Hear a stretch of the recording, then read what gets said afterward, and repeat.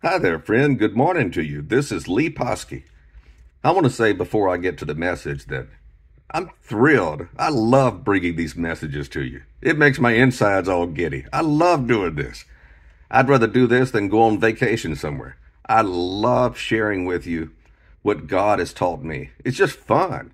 You know, it just is. And uh, so I got an exciting message for you today. I know there's a lot of people who've uh, been in some form of bondage over false teaching about what I'm going to show you today. But before I get to that, let me go ahead and pray, and then I'll get to the message. Dear Heavenly Father, I love you, and I thank you so much for saving me. Thank you for opening my eyes to your free grace and the finished work of Christ.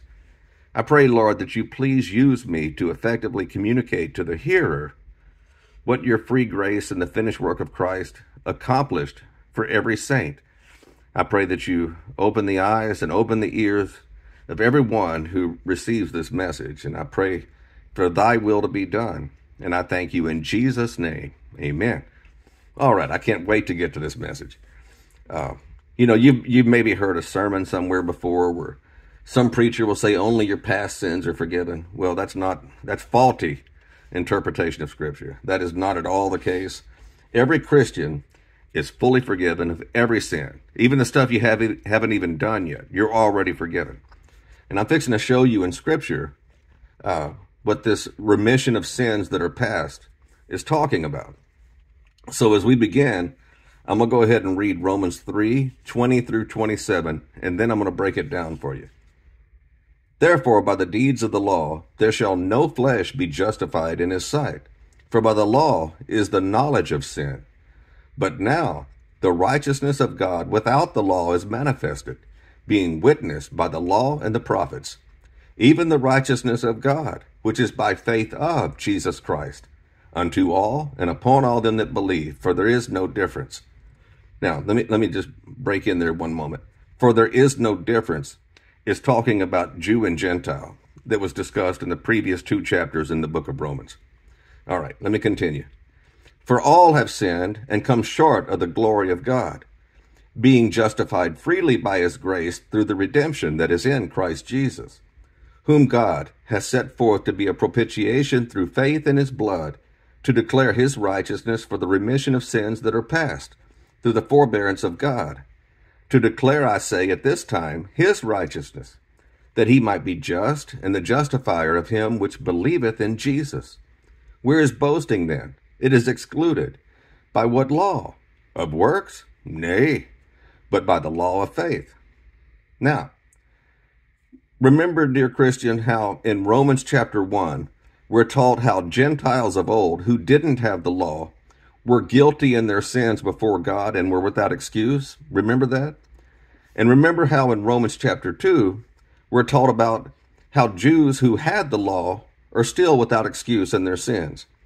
And so, what Romans chapter 3 is doing is bringing all of mankind together as a group and teaching us that all of mankind is corrupt and in need of righteousness and sin forgiveness by free grace in Christ.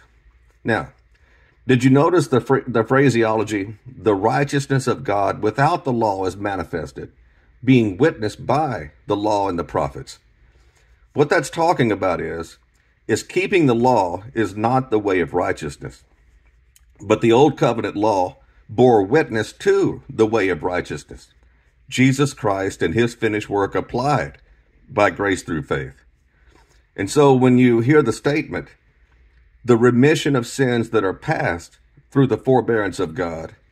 What that's talking about is that's talking about those people who lived prior to the cross now finally have what they were waiting on the awaited sin atonement of Christ that actually cleansed away their sins. That's what that's talking about. And this is further proven by scripture in Colossians 2 13 and 14 about all of your sins being forgiven and not just past sins. It says this, and you, being dead in your sins and the uncircumcision of your flesh, hath he quickened together with him, having forgiven you all trespasses, blotting out the handwriting of ordinances that was against us, which was contrary to us, and took it out of the way, nailing it to his cross. So, Rejoice, dear saint. That is terrific news. Jesus didn't take away only your past sins. God has forgiven all of your trespasses in Christ. So, whatever sins you commit today, they're already forgiven where God is concerned. And you know right well, contrary to what false religion says, this blessed truth does not make you want to commit more sin and go wild with sin. Just the opposite. This blessed truth only enhances your love and appreciation for what Christ did for you. And you know that's the truth. All right. Well, I thank you for sharing some of your valuable time with me, and all glory to the risen Lord Jesus Christ, and no glory to us whatsoever. Bye bye.